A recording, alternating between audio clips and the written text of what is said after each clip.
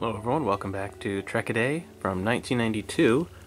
We have this Playmates Star Trek Next Generation action figure, one of several releases of Deanna Troi in this lavender uniform that she has, along with the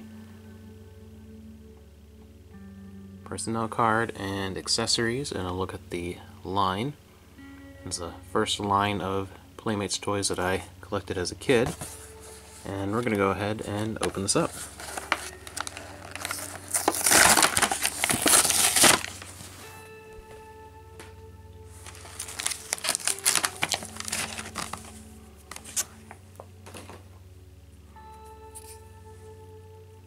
And here's a look at Deanna herself.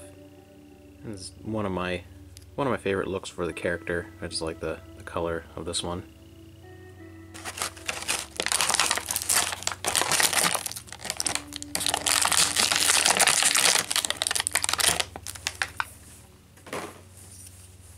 Along with her stand.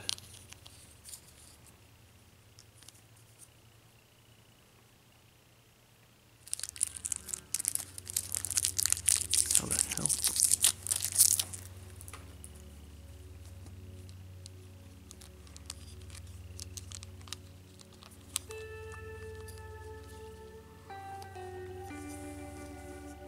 Along with various accessories.